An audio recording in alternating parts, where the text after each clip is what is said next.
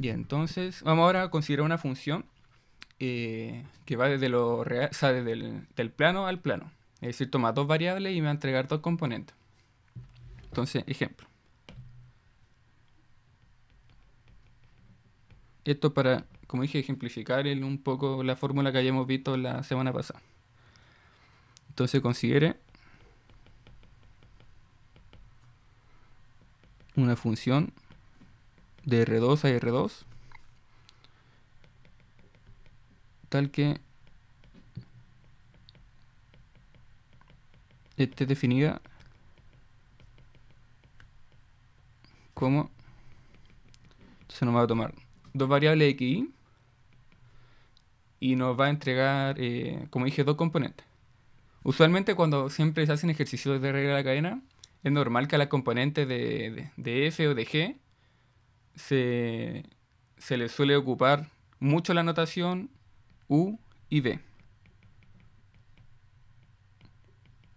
es como muy normal encontrarse ejercicios donde ocupan esta notación u y v Usualmente nosotros, de la clase anterior siempre decíamos, por ejemplo, no sé, pues este era f de 1 de x y este es f2 de x. Simplemente un cambio de notación, no, no hay nada más allá de eso. Pero es, u- es muy normal que se ocupe el, el u y el v. Y entonces va a tener esta función. Y bueno, como estamos ocupando regla de la cadena, en regla de la cadena existe una composición de funciones. Así que tenemos que tener otra función adicional para poder componerla. Entonces vamos a tener otra función que también va a ir de R2 a R2.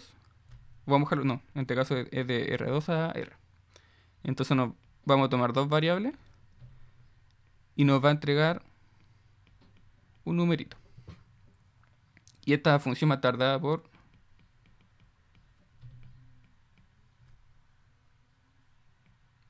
v igual u al cuadrado más b cuadrado. Y entonces, eh, en este caso nosotros vamos a definir el u y el v, estos de acá, cuando son como funciones, cuando no, porque aquí, aquí están definidos como variables para esta función. Pero aquí, si la, aquí están definidas como, como funciones, entonces estas van a ser, bueno, van a tener la, la siguiente forma. Vamos a escribirlo acá. 3x más 2y y b va a ser x al cuadrado por y. Entonces, calcular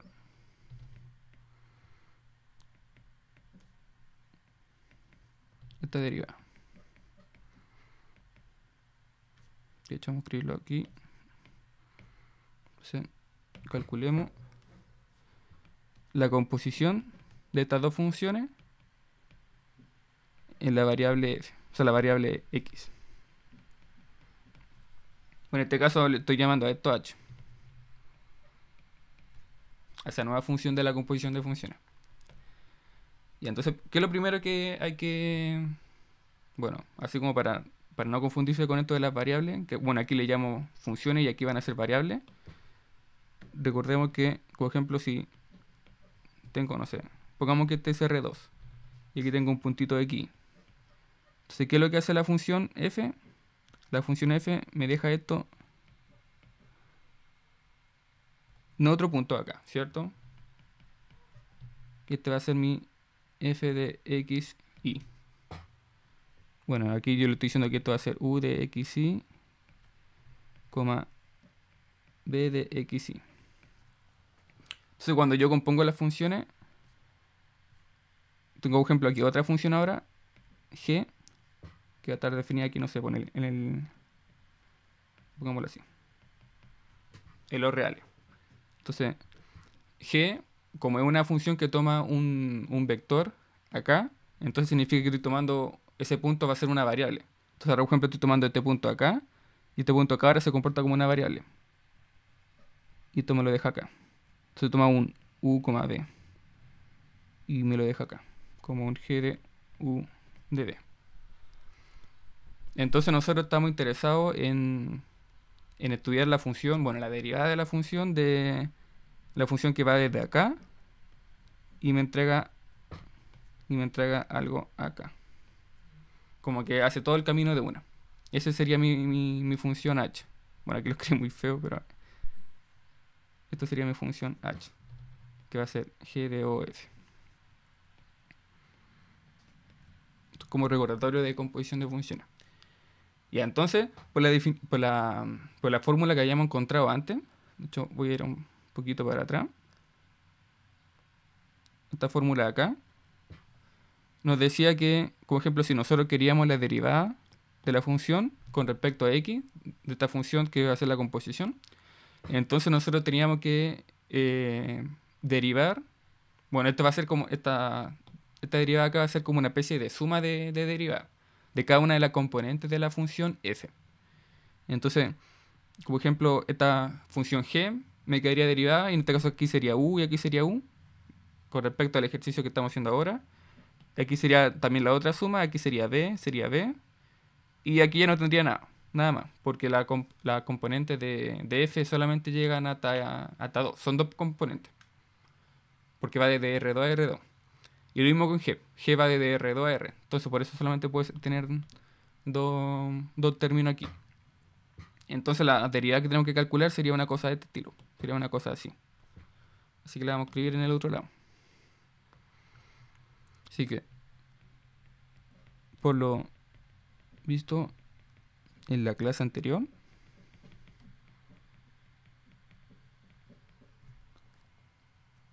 tendríamos que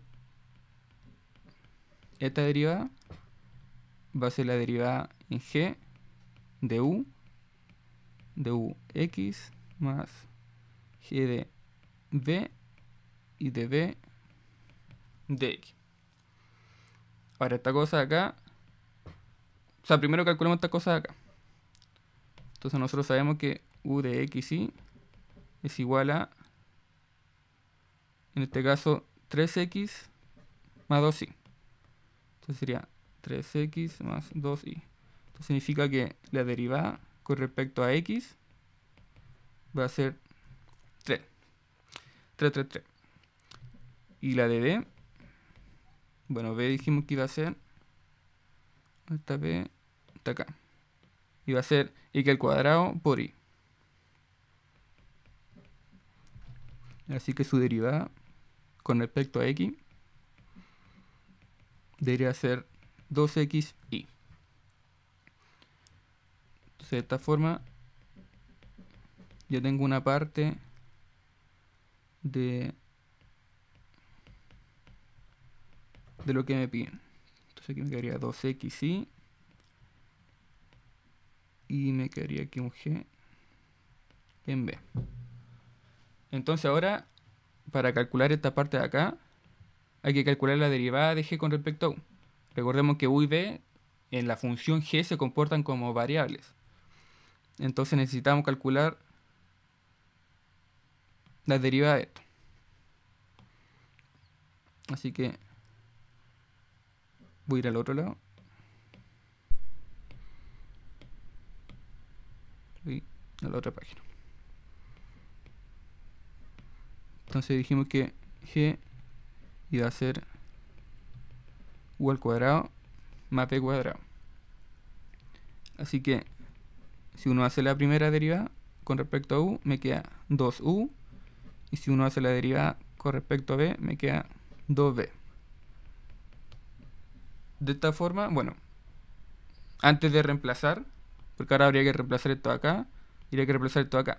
Pero recordemos que estas funciones de acá, la de g, Recordemos que, bueno, esto es, dijimos que iba a ser un, tengo aquí un espacio, esto va a otro espacio y esto va eh, a otro espacio acá.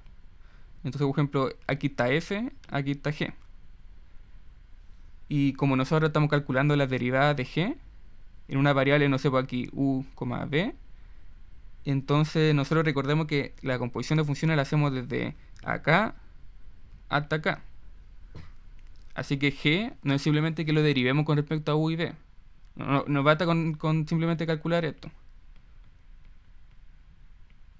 También tenemos que evaluar esta función en el punto de, f. En este caso tenemos que considerar f.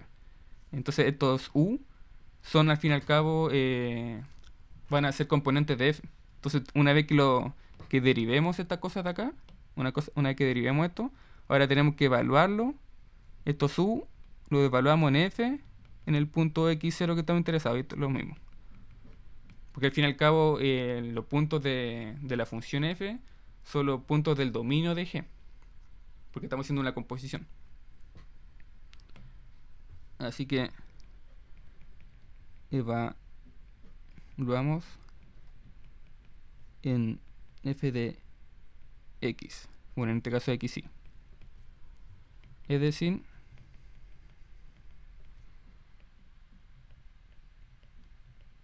es decir, esto de acá tiene que estar evaluado en u y b igual a u de x y b de x y. Porque esas son las componentes de f. Y en este caso, esto me quedaría 2u de x y. Y eso significa que sería 2, bueno, ¿cuánto era u? Se me olvidó. Era 3x más 2y. Entonces aquí me quedaría 3x más 2y. Y esa sería la función evaluada en f. Y ahora me quedaría lo mismo, pero hay que evaluarla. Bueno, la, ahora sería con respecto a la hora derivada y volver a evaluarla en f. Así que, bueno, en este caso esto era 2b.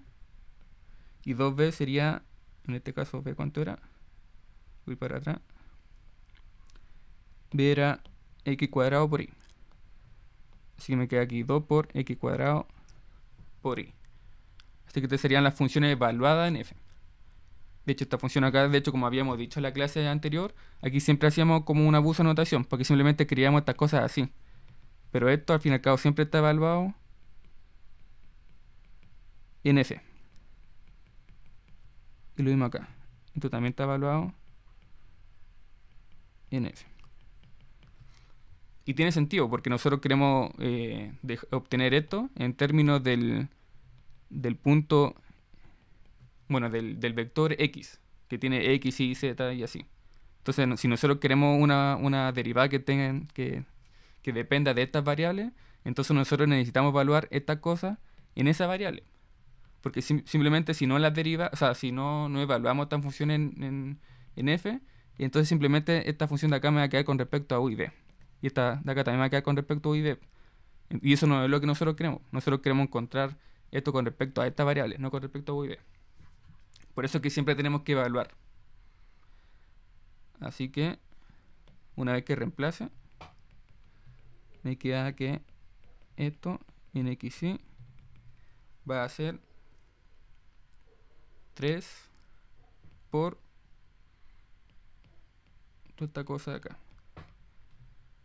Y sería más 2xy por esta cosa de acá. Bueno, en este caso aquí me queda 6x más 3x más 2y y aquí 4x al cuadrado y al cuadrado. De hecho no está al cuadrado, al cubo. Sí, ahí sí. Entonces esta sería la, la solución del problema que nos piden. Y bueno, y análogo, por ejemplo, con respecto a ahí, se lo dijo como ejercicio por si lo quieren hacer. Ahí están preguntando a alguien, que, profe, si la función se evalúa, por ejemplo, en x, ¿se tendrá que ignorar la otra variable? Eh, no, no, no, porque no se está ignorando ninguna variable acá. De hecho, cuando dije esto, tú, tú, tú me lo dices por esto, por, qué dije esto? Eh, ¿Por qué hice eso ahí o no? No, eh, profe, era cuando usted hablaba de que había que evaluar las funciones más arriba. Sí, cuando evalúo la, esto de acá. Sí, e, esa. Sí, pero... Ah, pero tú, te refieres a por ejemplo, si solo tengo una variable acá. ¿Eso? Eh, sí. Claro. O sea, Claro, todo depende. Todo depende de cómo estén, cómo estén definidas las funciones. O sea, como ejemplo, si, si G lo tengo definido desde R a R, entonces claro, ahí va a tener solamente una variable, llamémosle, no sé, U. Entonces, claro, hay uno evalúo solamente en esa variable. Obviamente, si hago esto, significa sí o sí que R va a tener que estar evaluado, eh, o sea, la, la componente de F van a tener que llegar sí o sí a R. Quizás va a tener varias variables, no sé, pongámosle RN, pero tiene que caer en R para que poder hacer la conexión de ese espacio con ese espacio. O sea, por ejemplo, si este tiene 2, entonces tiene que tener un 2. Si esto tiene un 3, entonces esto tiene que tener un 3. Para, hacer, para poder hacer la composición así. Entonces, claro, si aquí solamente tengo una, una variable, entonces significa que acá también tiene que haber una variable. O sea, no una variable, una componente en F. Pero claro, eso. Entonces, en ese caso, claro, si fuera solo una variable, solamente tendría esta parte de acá. Como esa parte de ahí. Y todo me quedaría aquí eh, un poco más sencillo. Eso. Gracias. ¿Se entendió, cierto? ¿O no? Sí, sí, sí. se entendió. Ya bacán. Ya bacán. Ya, entonces, bueno, esa sería la deriva con respecto a x. Y aquí le dejo como ejercicio por si quieren hacer el de la y. Y este, bueno, el resultado este, para, para que después lo comprueben. Bueno, a mí, a mí al menos me dio así. Era 2x más 8y más 12x cuadrado y. Entonces, por si quieren hacer el de y, pero es, análogo. En este caso también tendrían que calcular, en este caso, esto en G, en U. Obviamente esto es evaluado. Esto en U de X, Y, E de X, Y.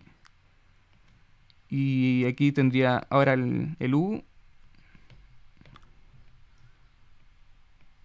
derivado en I. Y lo mismo acá. Tendría B, tendría B, pero el B está derivado en I. Y aquí lo mismo. También tengo esto evaluado en, en toda esa cosa. Uno nunca escribe esto del evaluado porque claro que como que hay mucha notación. Entonces uno no, no suele escribir esto, pero claro. Esto para simplemente dejarlo todo explícito. Para que después no se lo olvide evaluar. Entonces ese lo dejo como ejercicio por si lo quieren hacer. Ya. Em, otra cosa, eh, otro ejercicio. O sea, hagamos otro ejemplo. Y ahí empezamos con el teorema de la función implícita e inversa. Así que voy a ir a la otra página. Ya, entonces ahora vamos a una, una función que va de R. Entonces, ejemplo. Tomo una función phi que va desde R a R. Va a ser diferencial. Entonces, una función que tiene su derivada y su derivada existen, por eso me refiero a que sea diferencial. Tiene derivada en los puntos de interés y existen obviamente esas derivadas. Entonces definamos u de x y como esta función evaluada en x y. La tengo evaluada de esta forma. Con y distinta de 0. Entonces, demostremos que para todo x y con y distinto de 0 se tendrá que y esto va a ser igual al, al ejercicio del control.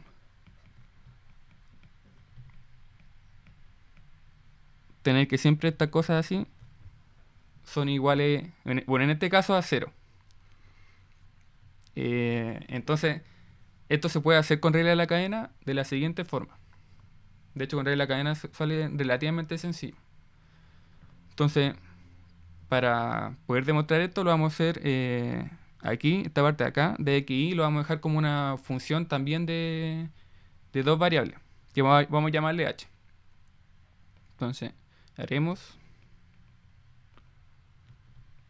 una composición de funciones.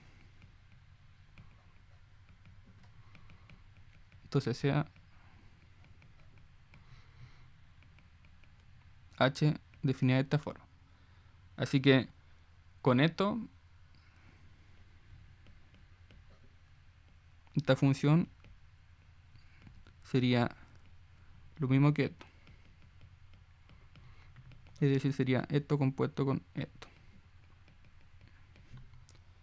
Y de esta forma, entonces, el U sería justamente esa composición. Entonces, al fin y al cabo, calcular eh, estas derivadas, o sea, calcular esto significa calcular esto con respecto a la, a la regla de la cadena, con la fórmula que hemos visto recién. Entonces se tiene que U es diferenciable primero. Esto, bueno, aquí es importante decir que U es diferenciable porque ni siquiera lo tenemos de forma explícita. Simplemente sabemos que es la composición de dos funciones. Pero, eh, bueno, para regla de la cadena recordemos que necesitamos que sea diferenciable. No lo he dicho en los ejemplos anteriores porque es como más obvio. Porque simplemente eran suma de x, y, y esas cosas son de por sí son funciones continuas y sus derivados también son continuos, así que por la condición de suficiencia ya son, son diferenciables en general. Pero claro, aquí U no, lo tengo explícito. Simplemente sé que es una composición de dos funciones y yo no sé cómo es la, la forma de, esta función de acá. Pero yo sé, por hipótesis, de que esta misma función es diferenciable. De hecho, aquí lo puse. Y además, h también es diferenciable. Porque va a ser es continua esta función fuera de la región donde i es distinta, es, cero. De hecho, estamos diciendo que i no es cero. Entonces, esta es una función continua de esa fuera de esa región. Y además, si uno la deriva, sigue siendo continua. Porque el único problema donde, me, donde se me define esta función es cuando i vale cero. Pero estamos diciendo que estamos fuera de esa región. Entonces, es continua, su derivada continua, significa que por la condición de suficiencia de que esta función también es diferenciable en esa región. Y de esa forma, ocupando álgebra de, y composición de funciones diferenciales, la, la composición de dos funciones diferenciales es diferenciable. Así que esta cosa acá es diferenciable. Así que, bueno, entonces yo dije que U es diferenciable y aquí pongamos ya que por hipótesis esta función lo es. Y h también. Pongamos aquí por la proposición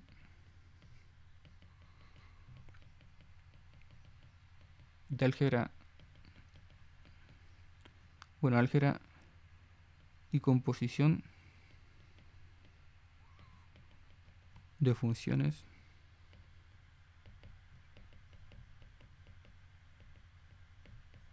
diferenciables. Ya, entonces, ¿qué queremos hacer? Queríamos calcular esto, esto y después hacer la suma. Así que, si uno hace aquí esta derivada, por regla de la cadena, nosotros sabemos que esto es esto derivado en h y esto derivado, esta h derivada en x. Y nada más. No hay más, no hay más, más suma porque simplemente en este caso la función h tiene una componente. Ahora, si h fuera una cosa con varias componentes, h1, h2 y así, entonces aquí sería varias, varias sumas. Pero como simplemente es h y es h igual a x, es simplemente un numerito, así que solamente tengo un término. No tengo varios. Y entonces en este caso, si nosotros calculamos la derivada en h con respecto a la función x, esto significa derivar esto de acá. Y en este caso esto simplemente sería 1 partido y.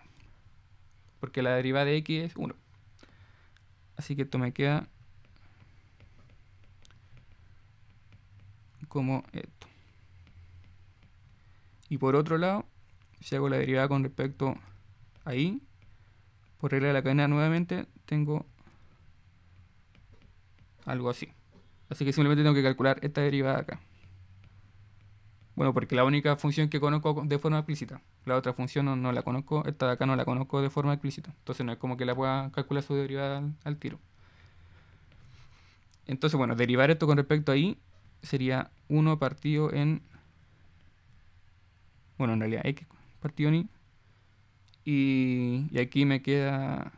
Bueno, puedo ver esto de varias formas. Si lo veo esto como x por y menos 1. Entonces me baja el menos 1. Me queda, bueno, el x, que es una constante en este caso. Y aquí me queda y menos 2. Así que esta derivada de acá es menos x dividido y cuadrado. Así que esta derivada de acá va a ser esto ahí. Ahora simplemente tengo que eh, multiplicar los x y los, y los y. Así que voy a ir a la otra página. Entonces, el primero es que si multiplico esto con respecto a x, dijimos que esta parte de acá iba a ser x por esta por toda esta cosa acá. Entonces aquí me queda eso. Vamos a sacar este 1 acá. Entonces me queda así. Y ahora si hago lo mismo pero con el i.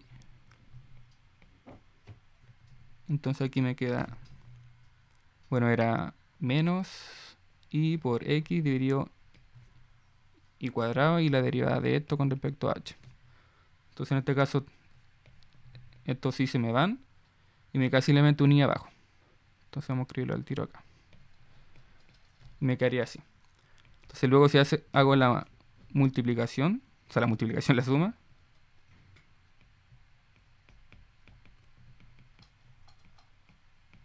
Me quedaría aquí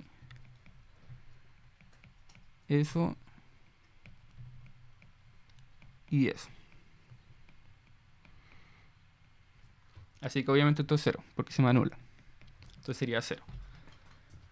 Así que, bueno, ahí estaría eh, demostrado por regla de la cadena esa igualdad ahí.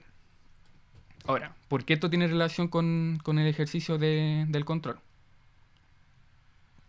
Y es porque, como observación, uno puede definir a otra, otra función u de esta forma.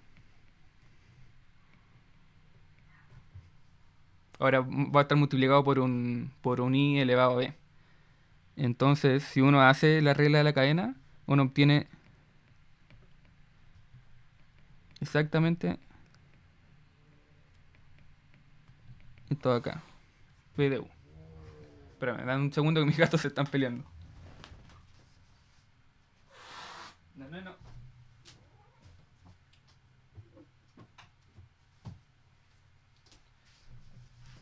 Ya, ahora sí. Entonces, si se fijan, eh, bueno, si uno hace aquí regla de la cadena, entonces, ahora tiene un, un i elevado a b, porque esto ya lo teníamos acá, entonces obtendríamos justamente la, la fórmula, o sea, la fórmula que nos pedían demostrar en el control. Y, de hecho, esta parte de acá era justamente esa función de ahí por seno de, bueno, aquí era como x cuadrado aparece y raíz de x cuadrado. Y el exponencial este era x más y partido en y. Creo que era así. Bueno, estoy seguro. Resulta que esta función eh, se puede dejar como las la variables, se pueden dejar como de esta forma. Esto de acá se puede dejar como... Se puede arreglar para dejarlo de esta forma. De hecho, esto es lo mismo que eh, tenía aquí un, no sé, aquí de hecho que me falta un i. Esto era como un i cuadrado. Entonces esto lo puedo dejar como 1 partido en x partido en y. Claro, uno no sabe esas cosas para, para el control, obviamente. Entonces uno no, no era, uno no tenía que ocupar esta herramienta. Pero si, claro, si alguien observaba esto, decía, ah, pero si uno conocía, yo conozco esta función, claro, ahí se puede hacer más fácil, pero pero obviamente no se podía porque había que saber, había que saber un poco de, de estas propiedades de la cadena. Entonces esto también queda como 1 partido en... Eh, ¿Cómo me quería acá? Esto era como 1 partido en... Y partido en X creo. Y... Esta siquiera me queda como xy. Y aquí me queda xy más 1. Entonces, si se fijan, esto de acá se va repitiendo en todos lados. Creo que era así la, la, el arreglo que quedaba. Entonces, como esta función tiene esta forma, y una función con esta forma, entonces, claro, simplemente eh, por regla de la cadena no es necesario calcular esto. Por regla de la cadena. Y esta parte de acá igual sale directo, porque simplemente derivar eso con respecto a b. Pues ahí sale, eso. Y no había que hacer todo ese cálculo innecesario. O sea, para, en el caso de la regla de la cadena. Para el control sí era necesario, porque se está evaluando las derivadas parciales. Pero, pero eso.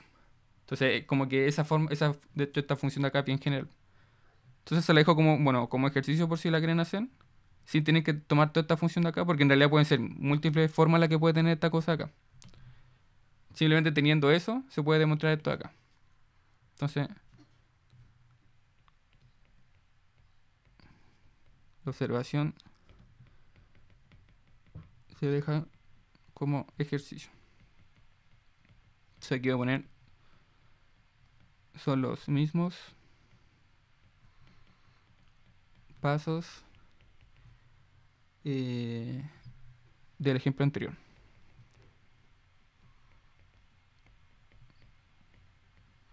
Son los mismos pasos, solo que ahora tengo un i elevado a e, pero en general son los mismos pasos. Entonces, eh, eso, con respecto a la regla de la cadena. Y ahora eh, vamos a comenzar, bueno, si, si, no hay duda hasta ahora, vamos a comenzar con la parte que le dije recién que era el teorema de la función inversa y la función implícita. Entonces, para poder primero hablarles de ese teorema, voy a explicar un poco cómo, cómo funcionaba esto, o cómo funciona esta, eh, este teorema en el caso más sencillo, cuando tengo funciones que van de lo real a lo real. Así que voy a ir a la otra página. Así que esta sección de acá va a ser teorema de la función inversa e implícita.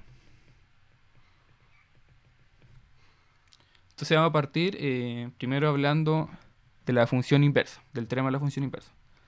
Así que una introducción.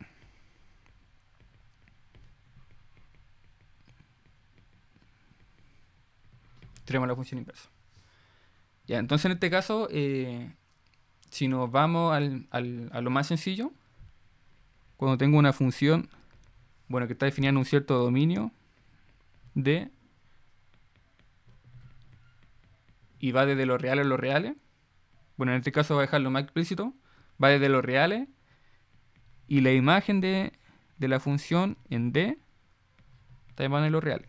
Recordemos que la imagen son todos los valores que va tomando la función. Y que no necesariamente van a ser todos los reales. Simplemente son todos los valores que toma la función. De acuerdo a los valores del, dominio. Entonces, como por recordatorio, eh, uno tiene una función, al menos uno sabe que existe la función inversa, es decir, la función que hace el camino inverso cuando hablo, de hecho, siempre cuando habla de función inversa es la función que hace lo contrario, que parte desde puntos de, de la imagen de f, es decir, desde acá, y me entrega cosas en el dominio, hace ese camino inverso. Entonces, uno sabe que esas funciones existen, porque no necesariamente existen con todas las funciones. Hay funciones con las que no existen inversas, pero, pero hay funciones con las que sí. Entonces, una condición que se tiene que dar es que esa función sea inyectiva. Ahí vamos a recordar lo que es la función inyectiva y de hecho también están las funciones sobreyectivas. Bueno, si, si tenían las dos se llamaba la función biyectiva y en ese caso uno ya asegura sí o sí la, la, inversa. Pero al menos uno sabe que puede existir si que la función es inyectiva. Entonces se sabe que f posee una inversa que se, le suele poner f elevado a 1, pero no es que sea, no es que sea esto. No es que sea 1 partido en f, sino que simplemente un, es por anotación se le llama f a la 1. Simplemente por eso. Y esta función sabemos, bueno, que parte del dominio del, bueno, parte de la imagen de f y termina en R. Y esto ocurre eh, siempre y cuando f sea al menos inyectiva. Entonces, eh, usualmente, ¿en qué tipo de funciones? bueno, inyectiva, biyectiva. Recordemos que la biyectividad sería inyectividad más sobreyectividad. Vamos a recordar obviamente esas definiciones. Entonces, por ejemplo, ¿cuándo se da la inyectividad? Esto eran funciones que usualmente se le llaman funciones 1 a 1. Es decir, solamente existe un x para un valor de f. No, no, por ejemplo, no existen dos, eh, x distintos para un mismo eh, valor de f. Es decir, como ejemplo, si tengo una función parabólica, esta función no puede ser inyectiva. Porque en este caso, por ejemplo, si la función fuera f de x igual a x al cuadrado, entonces no se podría tomar el 2 y con el 2 me entrega el 4. Pero también podría tomar el menos 2. Bueno, está un poquito más dibujado acá. Ponerlo un poquito más. Ponerlo por acá. Ahí sí. por ejemplo, puedo tomar el, el, 2 y me da el 4 y puedo tomar el menos 2 y también me da el 4. Entonces, en ese caso no se da inyectividad. Porque no es 1 1. Es decir, solamente, con las funciones inyectivas son las funciones que solamente existe un x que sea igual a 4. Es decir, por ejemplo, solo existe esta parte de acá que hace que esto sea acá. Así que la inyectividad siempre depende del dominio en el que uno se encuentra. Porque, por ejemplo, si esta función yo me la defino, supongamos que me la defino en este dominio acá. Y esta parte de acá la ignoro. Esta parte no existe para mí. Entonces, esta función definida en ese dominio, supongamos que este dominio se llama i, entonces esta función definida en i hasta los reales, entonces esa función sí sería inyectiva. Porque no estoy, estoy, como estoy ignorando esta parte de acá, entonces, entonces yo sé que la función eh, va a ser 1, 1. Es decir, por ejemplo, si tomo el 2, me va a entregar el 4. Y no hay ningún otro punto en ese dominio en el que sea igual a 4. Por ejemplo, ahora si tomo 1 según 1, yo sé que ese 1 me entrega el 1. Y no hay ningún otro punto que me entregue el 1. Pero claro, si yo expando mi dominio, entonces por ejemplo, si yo expando ahora mi dominio, tengo, tomo todo eso, determino todo al 2, entonces claro, ahí la función no es inyectiva. Porque claro, tendría, por ejemplo, el 1, el 1 me entrega el 1 y el menos 1 también me entrega el 1. Y así. Hay dos, hay dos, hay dos x que me entregan la misma valor de la función. Entonces, obviamente, estas definiciones dependen del dominio en el que uno esté viendo estas cosas. Así que,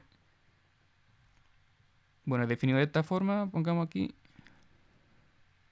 para que quede más ordenadito. Claro, si me defino esto, no es, sobre, no es inyectiva. Pero como ejemplo, si me defino... Vamos acá esto. Si me defino la misma función, pero solamente en esta parte de acá, entonces ahí la función sí sería sí sería inyectiva. sería la misma función aquí, f de x igual a x cuadrado. Ahora, ¿qué otra función? Si es inyectiva, de hecho, en cualquier dominio, sería la función f de x igual a x. Porque esta función,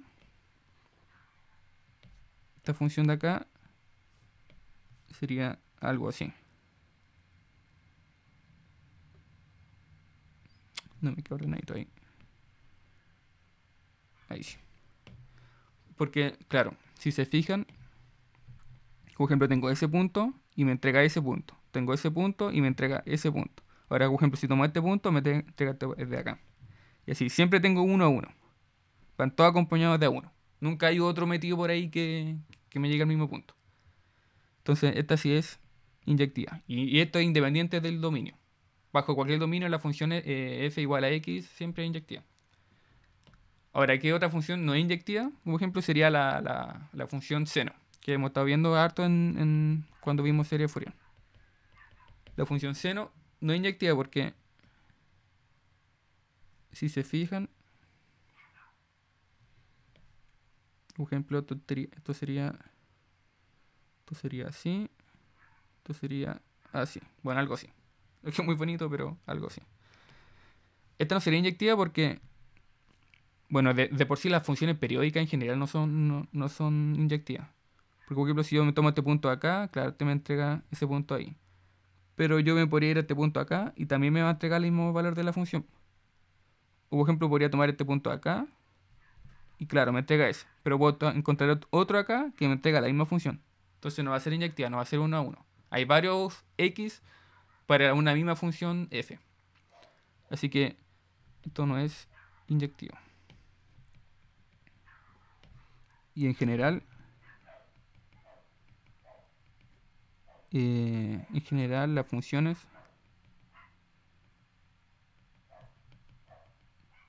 periódicas, periódicas, no lo son. No son inyectivas. Así que, bueno, voy a ir a la otra página. Generalmente, bueno, así como definición más o menos formal, bueno, no tan formal, pero más o menos formal de inyectividad. Inyectiva si solo sí. Por ejemplo, 2x e y que me tomo en un cierto dominio o un cierto intervalo y. Si son iguales, entonces necesariamente las funciones van a ser iguales. Y al revés, si las funciones son iguales, entonces significa de inmediato que las variables van a ser iguales. Pues, aquí sería como un sí solo sí. Se cumple para los dos lados. Si uno, si estos son iguales, entonces estos son iguales, y si estos son iguales, entonces estos son iguales. Entonces eso sería como menos la inyectiva. Y la sobreyectividad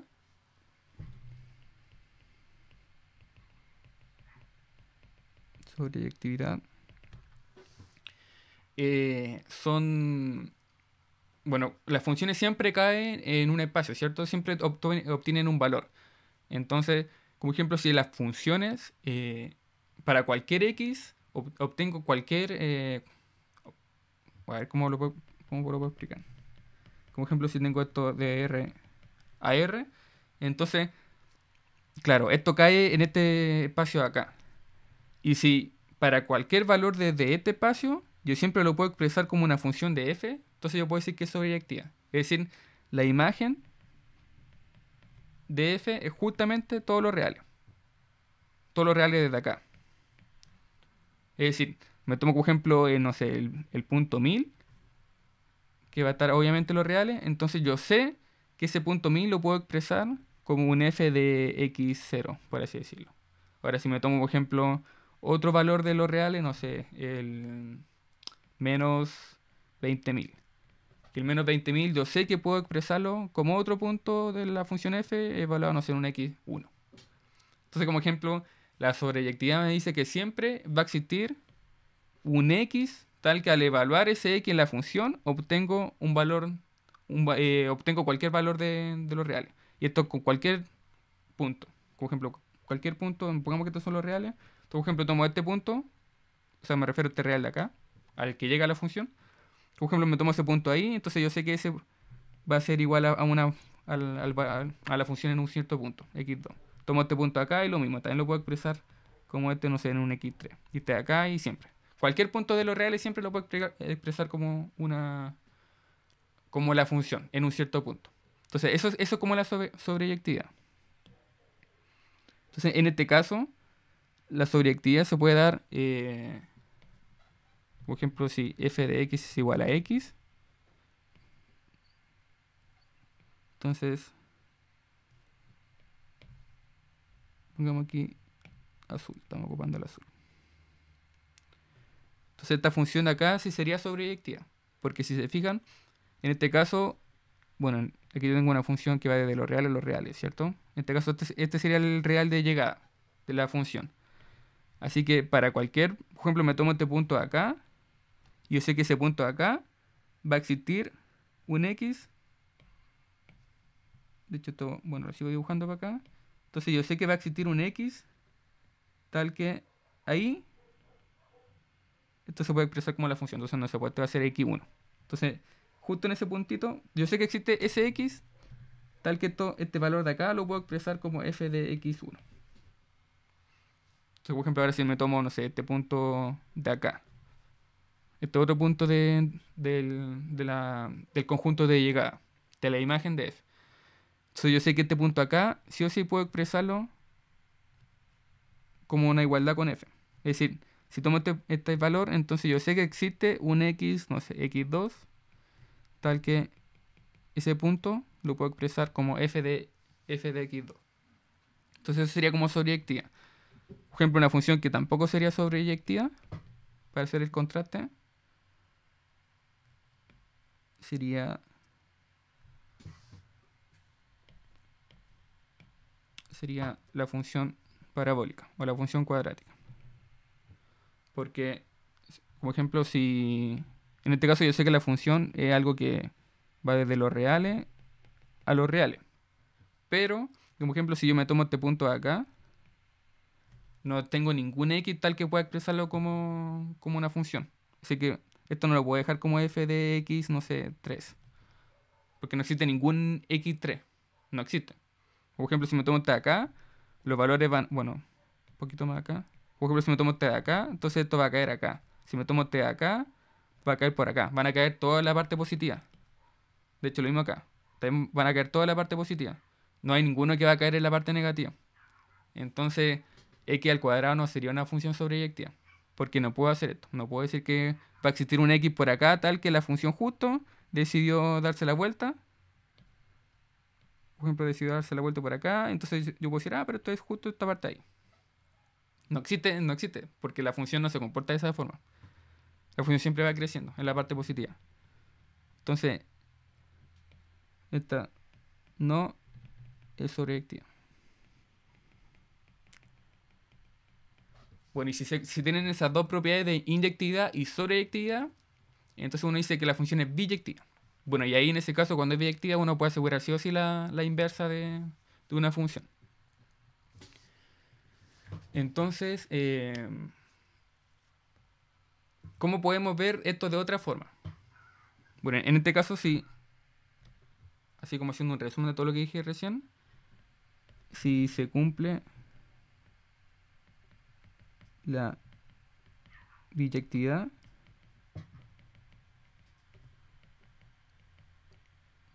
entonces existirá la función inversa. Bueno, como paréntesis, bueno, ahora son las 12.35. Voy a terminar la clase como a las 12.40, que por ahí eh, logré logré resolver el problema técnico, por si acaso. O sea, quedan 5 minutos de clase y ahí terminaríamos. Para completar la hora. Entonces, eh, ya volviendo a la, materia. Entonces nosotros eh, estamos estudiando estas dos eh, propiedades de, o sea, de inyectividad y de sobreyectividad para ver si existe la inversa de una función. Entonces, ¿cómo sabemos eso? ¿Y cómo podemos intuirlo gráficamente de que existe la inversa de una función? Se voy a ir a la otra página. Entonces la, inversa de una función, si lo vemos gráficamente esto,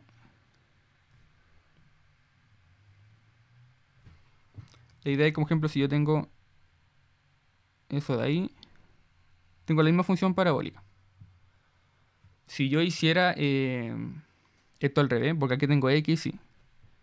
Si yo hiciera esto al revés, es decir, ya no tengo funciones, ya no tengo x como una variable, ya no hago ejemplo este recorrido, que tomo un cierto x, x1, y me entrega un f de x1.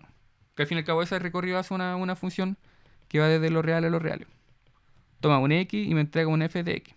Entonces parte acá y termina acá.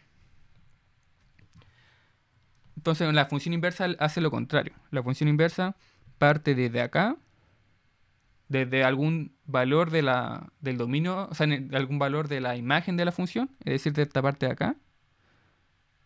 No de esta parte acá, porque aquí esto no sería la imagen de, de f, pero parte de ahí, toma un cierto i y me entrega ahora una cierta, un cierto valor en el eje x. Entonces tomo un cierto i1 y me entrega un f, bueno, un f inverso de i1 de acá sería I1. F a la menos 1 de I1. Entonces hace, el, camino inverso a una función, por eso se le llama la función inversa. Porque hace justamente lo contrario. Parte desde, desde la imagen de F y cae ahora el, el conjunto de llegada sería el, el dominio de la función f. Entonces, ¿cuánto, cu- ¿cómo uno sabe que eh, ciertas funciones tienen eh, inversa y cuáles no? Por ejemplo, si nosotros consideramos todo, todo este dominio de acá de, para la función parabólica, es decir, no sé, pues desde acá, todo esto acá, nosotros nos damos cuenta que existen dos valores para la función, para la función inversa. Por ejemplo, si yo le dije que, por ejemplo, tomo un x, o sea, un, un i1, y me entrega aquí este valor de acá. Pero si yo me estoy definiendo todo este eh, dominio acá, significa que también con este punto i1 me puedo ir por acá. Y la función, caer- y la función inversa caería acá. Entonces aquí uno se da cuenta que está mal definida la función. Porque la función no puede tener dos valores. Es decir, si yo, le, si yo a la función le meto un 1, me tienen que entregar un valor. No me tienen que entregar dos valores. No, no, no, no, no puede ser que la función tenga, no sé, aquí valga menos 1 y aquí valga 1. No puede ser eso. Porque en ese caso la función está mal definida. Así que cuando tengo dominios como esto, en el ejemplo en el que estoy considerando todo esto de acá, la función inversa no va a existir. No puedo asegurarlo. Bueno, de hecho no puedo asegurarlo porque eh, yo le dije que esta función no es ni inyectiva ni sobreyectiva en este dominio. Así que por lo tanto no tengo biyectividad y por lo tanto no puedo asegurar la inversa. Y de hecho no es que no la pueda asegurar, es que ni siquiera existe. Porque la función si, exi- si existiera estuviera- estaría mal definida. Porque tendría estos dos valores. La función inversa. En cambio, como ejemplo, si nosotros eh, acotamos el- el intervalo en el que está definida esta función, es decir, bueno, en este caso, pongamos aquí f de 1 en este intervalo. Pongamos aquí este intervalo que no sé, pongamos va desde A y termina en B. Entonces el intervalo A a B no existe. Ya que F1 estaría mal definida.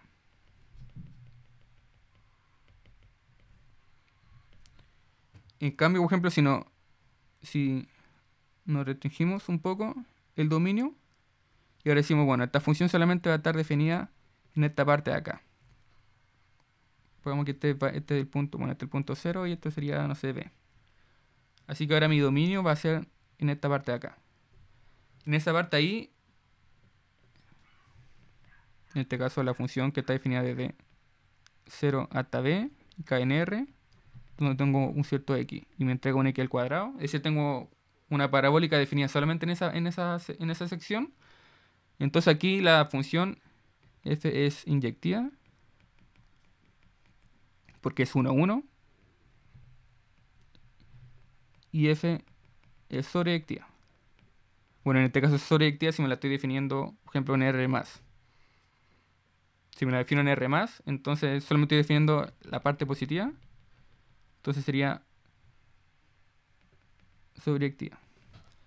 Pero al menos fíjense que si es eh, inyectiva y no sobreyectiva, es decir, solo si tengo esta cosa acá. Y, puede que la función definida en todos los reales. Entonces no necesariamente va a ser sobreyectiva. Solo con esa inyectividad yo puedo asegurar que existe una inversa. Porque la inversa en ese caso, por ejemplo, si me tomo este punto acá, me va a entregar siempre solamente un valor. Si me tomo este punto acá, entonces también me va a entregar otro punto por acá. Entonces siempre me va a entregar un valor. No es como antes que podía tener otro valor por acá. Porque claro, ahora ya no tengo la función definida en esa, en esa parte. Entonces al menos con inyectividad yo puedo asegurar la existencia de, de la, de la inversa. Con la inyectividad. Bueno, si tiene la sobreyectividad, entonces mejor aún. Pero, o sea, con sobre, si, si, si es sobreyectiva, entonces tengo, tengo que definir aquí que la función está definida solamente en los reales positivos. Porque no está consider- considerando los reales negativos. Pero al menos con inyectividad yo puedo hacer, asegurar la, la, la inversa. De hecho, bueno, si me tomo otro punto acá y esta función sigue por acá, entonces, claro, ese punto acá solo va a tener un valor por acá. No sé, ese valor de ahí. Y así. Entonces, si ahora defino la función en el intervalo en el intervalo 0 a b, entonces f es inyectiva y puedo asegurar puedo asegurar la eh, función inversa. Inversa f a la menos 1 ya que estará bien definida. Es decir solo tendrá, un valor la función f a la menos 1. Así que, ¿qué significa esto? ¿Qué significa todo esto que hemos, toda la introducción que hemos hecho antes de terminar? Y es que yo eh, voy a estar interesado, de hecho, después en el teorema de la función inversa, cuando la defina de, funciones que van desde los Rn a R, por ejemplo, de Rn a Rn. En ese caso yo puedo asegurar la, función inversa siempre y cuando se mantenga esto mismo, esta misma idea de, inyectividad y de que la función estén bien definidas. En cambio, por ejemplo, si la función no va a ser inyectiva, entonces no puedo asegurar la, la inversa en ese caso. Y podemos hacer la conexión de esto, de estos dibujos, con eh, la derivada de la función. De hecho, la derivada de la función nos entrega herramientas para, decir si, si va a estar bien definida la función inversa. Eso lo vamos a ver mañana en todo caso. Pero, de hecho, vamos a comenzar mañana con, eso. De que la, que la derivada nos va a poder, de hecho también lo voy a hacer gráficamente, nos va a poder decir cómo, cómo, el comportamiento de una función y cómo va a ser la existencia de, de una cierta función inversa en un cierto intervalo. Es decir, si, se fijan acá, por ejemplo, nosotros nos definimos otro intervalo y en ese intervalo sí existía la función inversa. Si expandimos esto, entonces no, existía. Entonces, esto nos va a decir que localmente, es decir, localmente, cuando hablo de localmente me refiero a que en un cierto intervalo, la función sí va a estar bien definida, la función inversa. Y, ahí vamos a definir también el, teorema de la función inversa y todo eso. Así que, bueno, lo dejaríamos hasta acá.